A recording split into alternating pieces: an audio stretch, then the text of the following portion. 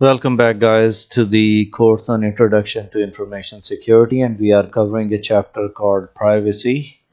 And uh, in our previous lecture we were discussing about the hash algorithms. Um, then we discussed about uh, different uh, uh ways to verify the integrity of the digester etc today we'll be talking about the symmetric cryptographic uh, algorithms uh, symmetric cryptographic algorithms uses a single key to encrypt and decrypt uh, uh, the message whatever we have encrypted. It's designed to encrypt and decrypt the ciphertext unlike the hashing and is also called a private key uh, cryptography since it's using a private key in order to encrypt or decrypt. Identical keys are used for encryption and decryption. So uh, the point was that maybe if a single key is used for encryption and decryption. Uh, there are high chances that if key is leaked out uh, your data would be vulnerable and anyone would be able to decrypt the data. Now if we'll try to understand it from this picture uh, a plain text uh, message is being uh, sent uh, using the the symmetric algorithm. And there is a unique identical key it would convert the text. It would be transmitted uh, over to the uh, medium on the network or on the internet and then the same key identical key would be used to decrypt the data. So the difference between the asymmetric and symmetric is that in symmetric there is only one key to encrypt and decrypt. In asymmetric there is a concept of a private key and a public key uh, so as far as the symmetric key is concerned uh, just keep in mind that there is only one key which is used to unlock the document or to encrypt it or uh, decrypt it. Now asymmetric uh, cryptographic algorithm also known as a public key cryptography uses two keys instead of one. One key is public which is to be shared with the public and there is no harm in that and one key is known as a private key which is uh, to be kept uh, with the person who's using it. Um, uh, keys are mathematically related like uh, public key is known to be everyone and can be freely distributed without any danger. Private key is known to be um, kept private with the individual uh, to whom it belongs to. Uh, for example if bob is trying to send a document um, he'll use his private key and would use a public key of Alice and then he would encrypt the document and would send it to Alice. Once Alice will receive it, uh, she'll use her private key and public key of Bob in order to uh, view the document. Uh, so that's uh, that's how it's used because you are using your public key which is known to everyone and you'll use your private key in order to decrypt it. So uh, the message is clear and uh, we can uh, comfortably share it on the internet without having um, any problem uh, with the uh, sharing of the keys. Now there are some very important uh, key key information which needed to be shared over here. Important principles which are there regarding the asymmetric cryptographies are that there are key pairs Unlike symmetric cryptography that uses only one key, symmetric cryptography requires a pair of keys which is a public key and a private key. Now a public key as mentioned over here, public keys by their nature are designed to be public so you can share it with everyone and do not need to be protected since they are meant to be shared with the people. They can be freely given to anyone or even posted on the internet, transferred through the social media or anything. There are no issues. Private key should be kept confidential and shall never be shared with anyone because that's your private key uh, which, uh, which should remain with you. Now in both directions, asymmetric cryptography keys can work in both directions. A document encrypted with a public key can be decrypted with a corresponding private key. In the same way, a document encrypted with a private key can be decrypted with a public key. So asymmetric cryptography uh, can also be used to provide a proof of the sender's identity and that the data has not been intercepted or altered by any means. Uh, suppose that if Alice receives a encrypted document that says that it came from Bob, we know that it came from Bob. Um, and we can verify that uh, details uh, of it so that's what we call it a digital signature um, an electronic verification of the sender. A digital signature can verify uh, that the sender um, has actually sent the document. It can prevent the sender from disowning the message that no, it wasn't me who sent the document. So since your public and private key is used, it is you who actually sent the document. Proves the integrity of the message as well. Basis for the digital signature uh, rests on the ability of the asymmetric keys to work on both directions.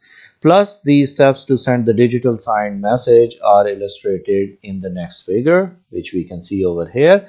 As Bob is sending, he'll use a hash algorithm to verify the integrity of the document. We call it a digest.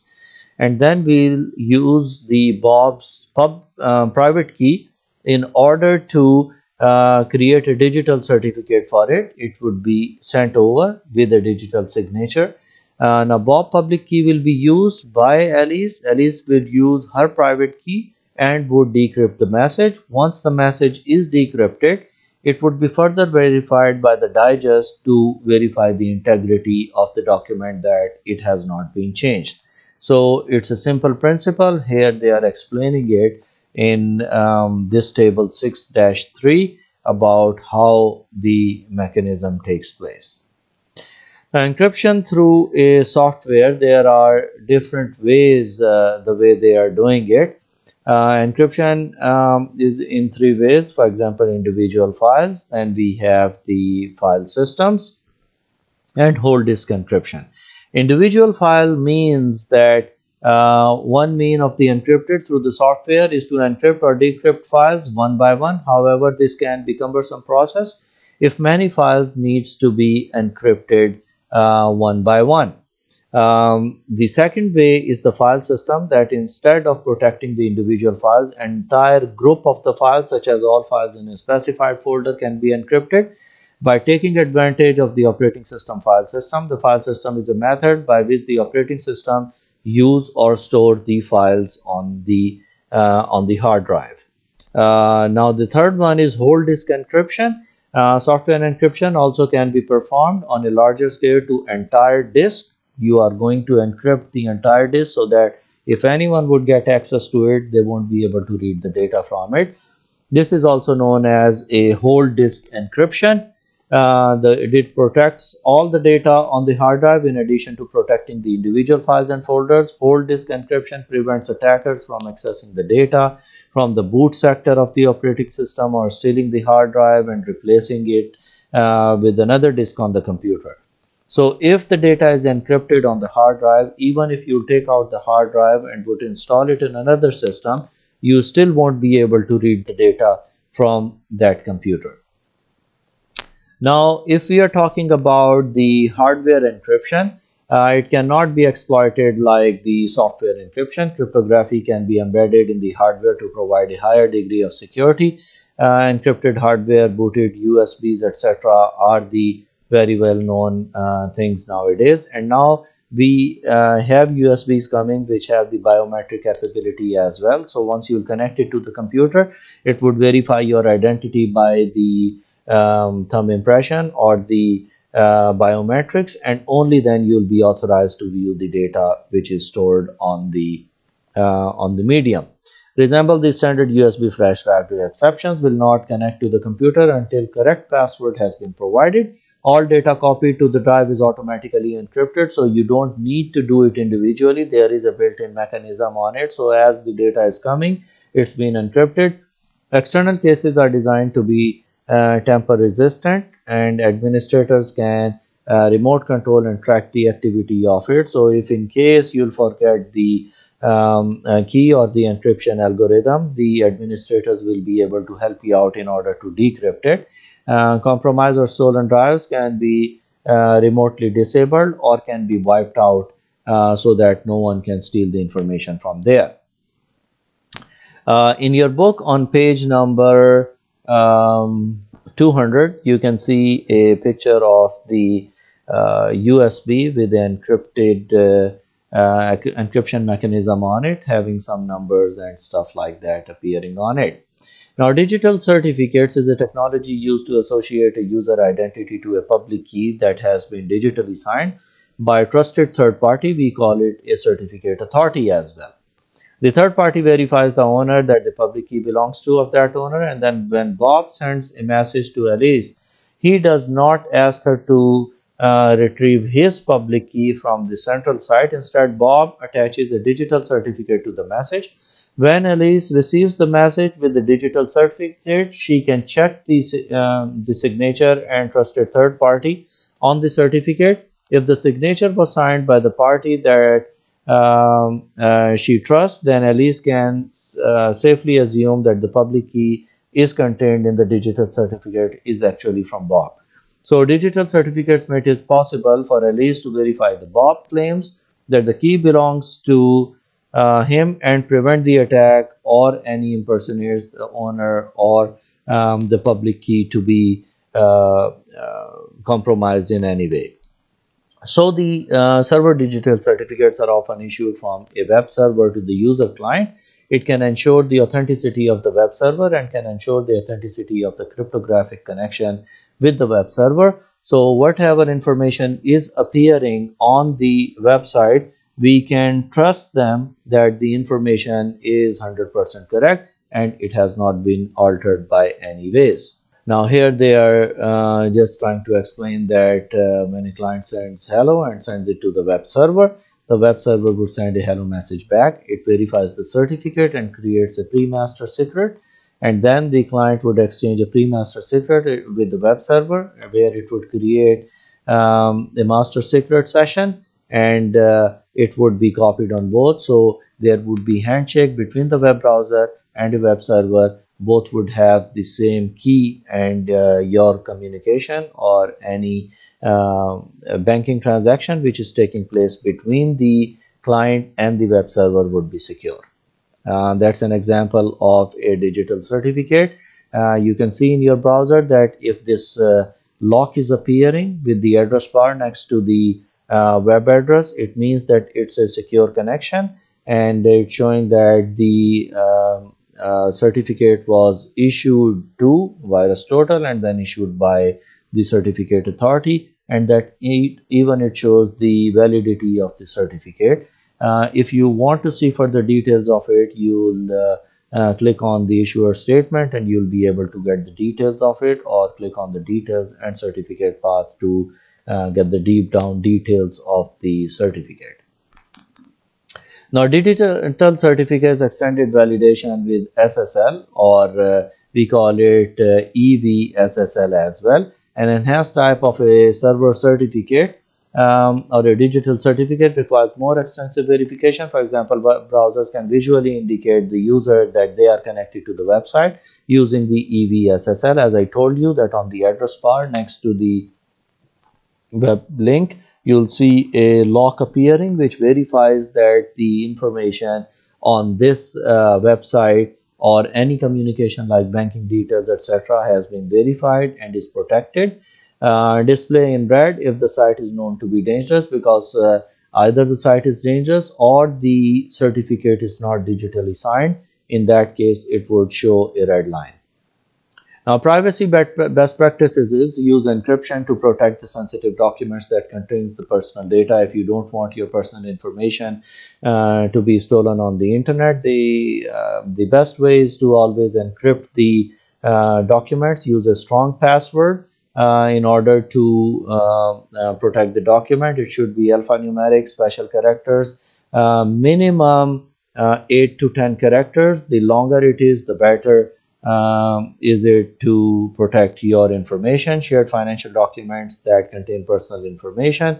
Um, always shred the documents that have the financial details, even if they are not required, they would have your name or the account number or the branch details or any information which can be used by the person who's actually um, looking for uh, that information.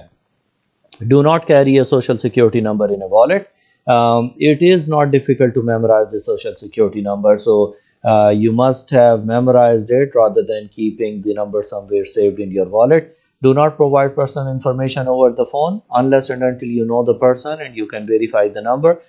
Uh, um, because uh, we we talked about earlier in this uh, course that people would be calling and they would try to pose that they belong to an xyz company and they are not the uh, the actual persons who are calling from there we receive lots of calls uh, from the people who claim that they are calling from a bank but if you will see the number is either a personal mobile number or a private landline number and uh, uh, you cannot provide that information, your personal information over the telephone.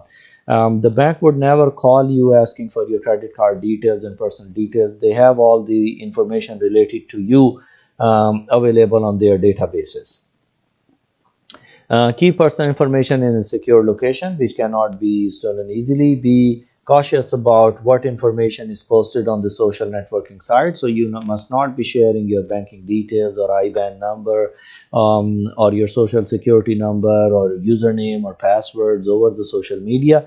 Though they say that our communication is secure, but uh, um, it's not a good practice to share all that information on the internet. Keep only the last three months and the most recent financial statements with you um, available at home, which are printed or in the digital format. Make sure they are password protected and no other person have access to that. Install anti-spyware software on the computer, making sure that no one is stealing your information using those spyware software. Um, you must also have a pop-up blocker because uh, in certain websites there are lots of pop-up blockers which are actually showing the advertisements which are um, quite interesting and you are inclined towards clicking those advertisements and you end up um, infecting your computer with malwares. Control cookies through the web browsers. Uh, so you are not allowing the third-party cookies which are actually meant to collect your information from uh, from the computer. Review the privacy options of the browser. Turn on the features that will provide the highest level of privacy without negative impact um, uh, negatively impacting the browser so you can find the best practices or the best settings uh, security settings or privacy settings of the browsers um, on the internet usually the browsers are configured for the secure communications but still if you want to have a very secure communication it's highly recommended to review the settings uh, of the browser itself turn on Wi-Fi protected key like uh, WPA2 and uh, Wi-Fi networks be cautious about granting permissions to a website or application request that can collect the data.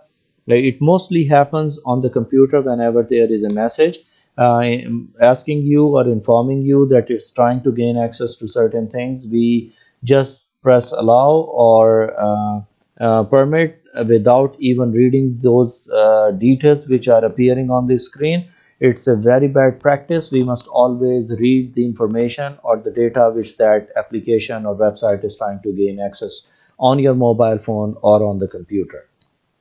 Be sure a padlock or uh, the password protected uh, uh, mobile phones or screens are there or the passwords are there on the computer as well on the beginning of the web address and as for the credit card numbers or other personal information. So uh, it should not be open that uh, the information which you entered is stored and saved on the servers uh, where anyone can gain access to your credit card details etc and then use a common sense uh, and uh, don't just uh, disclose your personal information on the internet. These are the responsibilities of the organizations and that brings us to the end of the chapter and end of the book on information security and we were covering a book called uh, Security Awareness and Applying uh, Practical Security in Your World. So that was the title of the book and I hope you enjoyed the course uh, on Introduction to Information Security and I hope to see you in a different course soon. Thank you so much.